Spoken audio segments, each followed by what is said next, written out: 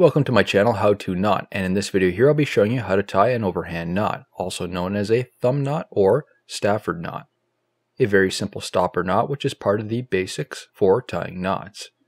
Its basic technique can be found in other knots such as the loop knot, reef knot, running knot, water knot, etc. Its applications are general purposes, farming, fishing, camping, climbing, and boating. Taking the working end of the rope, form a loop. Feed that working end through the loop. Then tighten and dress the knot accordingly, pulling it tighter on itself.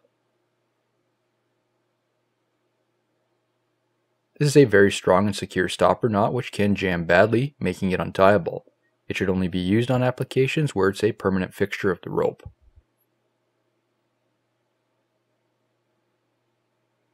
An example using the overhand knot is a stopper knot through a hole. This is a low profile knot that can be used to hold rope through a hole, prevent the rope from fraying at the end, or provide a slightly larger object to grab onto.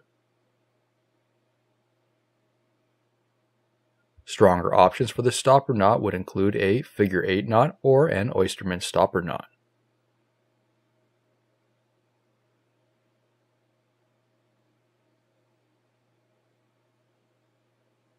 This concludes the rest of my video. I hope you enjoyed it. Please be sure to hit that thumbs up button, and if you'd like to see more knot tying tutorials, subscribe to my channel.